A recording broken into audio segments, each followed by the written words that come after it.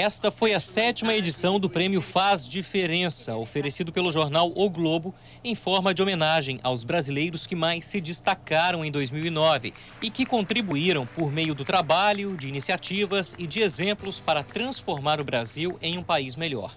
São 16 categorias. O presidente em exercício, José Alencar, foi contemplado na categoria País, depois de ser escolhido por um júri formado por profissionais de diversas editorias do jornal O Globo, por voto popular e pelos vencedores de anos anteriores. Em entrevista coletiva, o presidente em exercício comentou a decisão do Comitê de Política Monetária, o Copom, de manter a taxa básica de juros em 8,75%.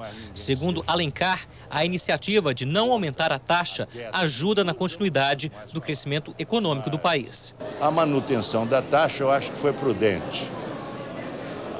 Se o Copom tomou a decisão de manter 8,75, eu acho que foi uma decisão prudente. Agora, as taxas brasileiras, do ponto de vista real, são as mais elevadas do mundo. E, em alguns casos, várias vezes superior.